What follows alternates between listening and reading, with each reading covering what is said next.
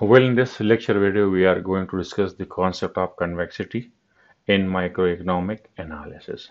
To understand the uh, concept of convexity, let us take an example, right?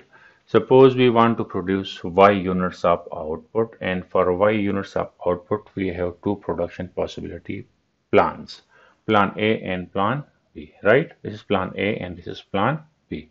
All right. Suppose to produce y units of output, we, we need two capital, right? And suppose we need uh, four labor. In the same way, uh, if we need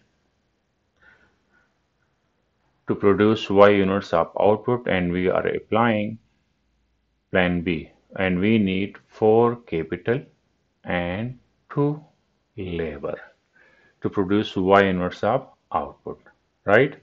Now the question is, can we use some max approach to reduce the units of labor and increase the units of capital in production plan A?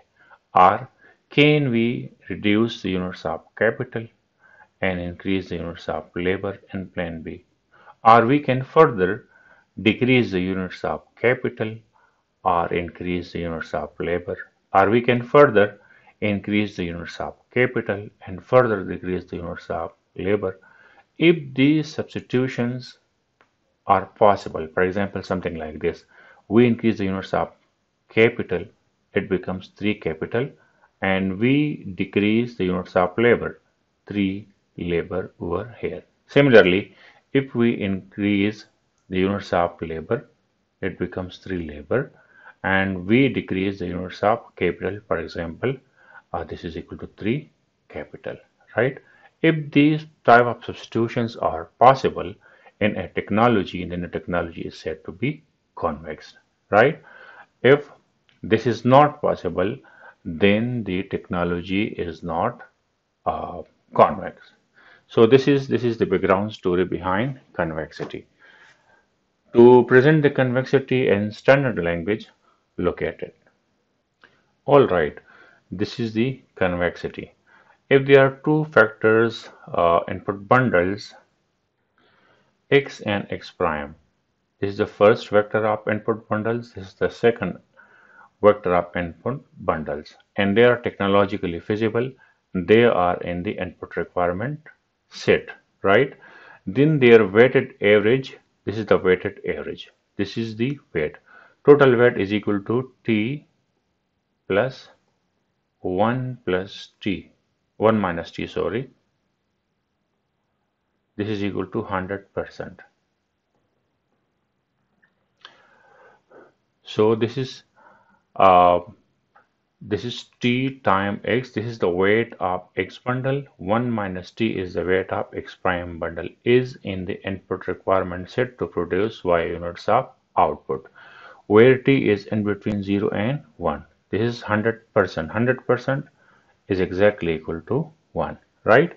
So if you are talking about percent so t should be in between 0 and 100 however if you are talking about fractions it will be in between 0 and 1 then the input requirement set vy is convex set. So it means that uh, as we discussed earlier if you are using for example 2 units of capital and 4 units of labor then you can increase or decrease the units of one uh, factor input. And as a result you can change the other input accordingly. For example if you want to increase capital by 10 percent so for, for this you have to decrease capital by 10%, right? If you want to increase capital by 20%, right? For this, what will you do? You will decrease labor by 20%. You will decrease labor by 20%.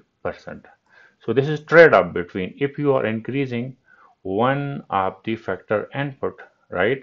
Factor input bundle, you have to adjust the other accordingly so that the overall weight should become 100 and your total budget remains intact.